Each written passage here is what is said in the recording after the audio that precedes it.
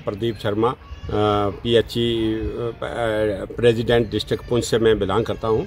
तो कहने का मतलब ये है कि कल, जैसे कि डॉक्टर जितेंद्र सिंह जी इधर मेंबर ऑफ़ पार्लियामेंट जो कि दिल्ली में बैठते हैं 140 करोड़ के, एक 140 करोड़ के एमपीओ के बीच में बैठ बैठ कर तो कोई भी डिस्कस होती है दिल्ली में तो उसके member of parliament doctor Jitendra Singh ji, उनकी रैली थी अखनूर में।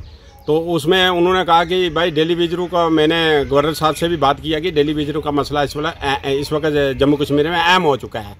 तो मैं डॉक्टर, वो कहते हैं कि जो है कि इस वक्त स्टे जो है, अगर हम इनको गवर्नर साहब से डिस्कस हुई तो गवर्नर साहब कहते हैं कि कल अगर ऑर्डर कर भी देते हैं, इनको परमानेंट तो स्टे हो सकता है। मैं कहता हूँ, डॉक्टर जितेंद्र सिंह जी स्टे वाला कोई ऑर्डर बनता ही नहीं है। ये लोग तीस तीस सालों से ये डेली वेजर बेचारा आग की भट्टी में जुलस रहा है। तो इसमें पहले कोई स्टे कर भी नहीं सकता। अगर करेगा भी, अगर स्टे तो उसमें यह है कि स्टे कैंसल लेटर लगा हो हर डिपार्टमेंट में भेजा जाए तो मेरे ख्याल में स्टे हो ही नहीं सकता। कोई ऐसा हो ही नहीं सकता। मगर उसमें है कि एक बात शर्ते काम करने की मंशा हो तो तभी है।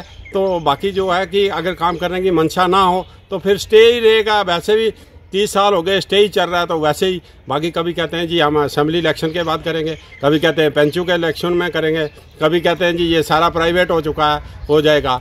भाई, हमें इलेक्शनों की या प्राइवेट सारा करो, पहले हम डेली विजनों को परमानेंट करो।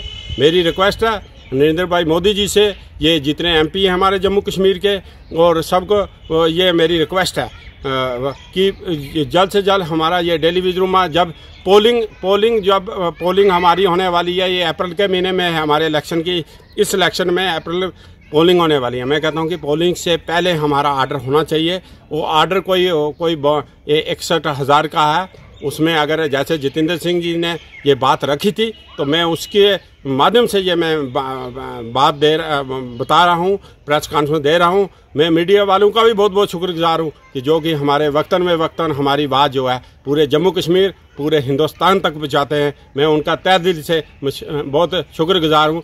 बाकी मैं जितेंद्र सिंह जी से कहता हूँ कि ये अनन फनन ये आर्डर होना चाहिए। अगर आर्डर आप करने की अगर मंशा है तो ये मिनट में होना चाहिए।